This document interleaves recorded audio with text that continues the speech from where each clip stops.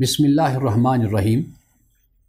رسول اللہ صلی اللہ علیہ وسلم کی خدمت میں ایک شخص حاضر ہوتا ہے اور عرض کرتا ہے، یا رسول اللہ صلی اللہ علیہ وسلم، جب میں بکری کو ذبح کرتا ہوں تو مجھے اس پہ ترس آتا ہے۔ رسول اللہ نے فرمایا کہ، اگر آج تمہیں بکری پہ ترس آتا ہے تو کل قیامت کے دن اللہ سبحانہ و تعالیٰ تم پر رحم کرے گا یعنی تمہاری حالت پر اللہ بھی ترس کھائے گا۔ یہ بات رسول اللہ نے دو مرتبہ فرمائی۔ یہاں سے یہ بات سمجھ آتی ہے کہ ترس کھانا اور رحم کرنا یہ انسان کا ایک جذبہ ہے۔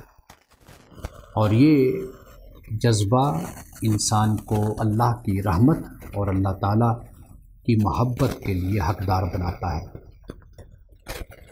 یہ حقیقت ہے کہ انسان میں یہ ترس اور یہ رحم ہونا چاہیے۔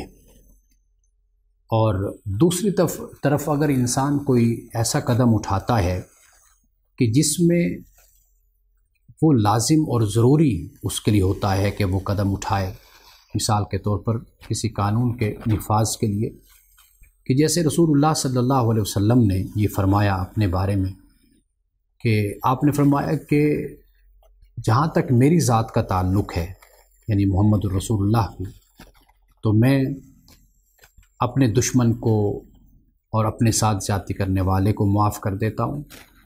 لیکن جہاں اللہ کے حکم کی بات ہے اور اس کے نفاذ کی بات ہے، تو اس معاملے میں میں نرمی نہیں کرتا۔ یعنی ایسا نہیں ہے کہ ترس دل سے ختم ہو جاتا ہے۔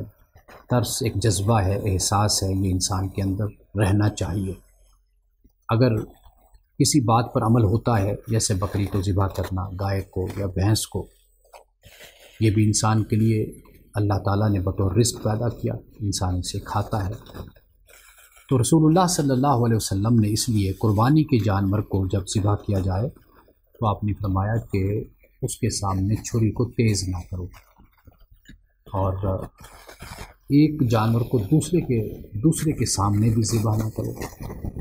تو ایسے چند احکام اور چند آداب آپ کہہ لیجیے کہ رسول اللہ صلی اللہ علیہ وسلم نے ہمیں دیا تو اس سے یہ معلوم ہوتا ہے کہ ذبح کرنا یہ اپنی جگہ پر ایک عمل ہے اور انسانوں کے لیے ان کا گوشت اور رزق اللہ تعالیٰ نے عطا کیا ہے۔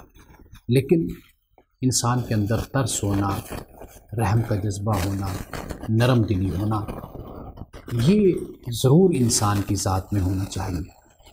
اور یہ اللہ سبحانہ و تعالیٰ کی بہت بڑی رحمت اور اللہ کی بہت بڑی نعمت ہے۔